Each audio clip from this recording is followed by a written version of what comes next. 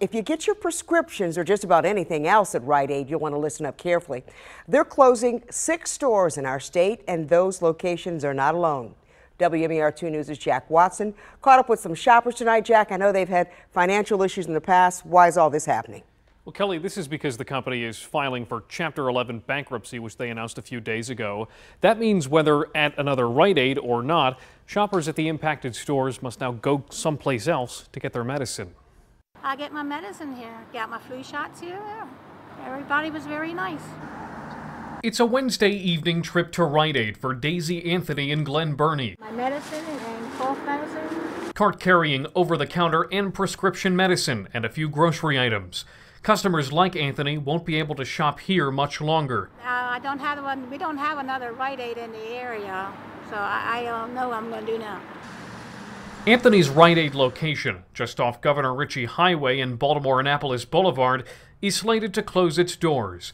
Along with an 89 page bankruptcy filing this week, plans from the company to shutter more than 150 stores nationwide. Caught up in those planned closures are two locations in Glen Burnie, one in Elkton, one in Bel Air, and two with Baltimore addresses. In a release this week, Rite Aid said, quote, "The company is making every effort to ensure customers of impacted stores have access to health services, whether at another Rite Aid or a nearby pharmacy." And will work to transfer prescriptions accordingly so that there is no disruption of services. Some folks didn't want to go on camera with me, but they tell me with other things going on elsewhere, like layoffs, they're not surprised. Retail pharmacies in particular are seemingly hurting. Competitor CVS announced its plans to close 900 stores by next year. One thing about Rite Aid, besides all the good service and everything, is that it's clean here. It's very, very clean. And they keep it clean. For customers like Anthony, it means a readjustment. Anthony tells me her nearest pharmacy might be a further away Walgreens.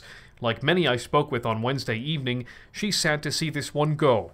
Um, not happy. no happy at all. Rite Aid did not say when the closures could happen, but the company says it has more than $3 billion from lenders to support the company through its reorganization.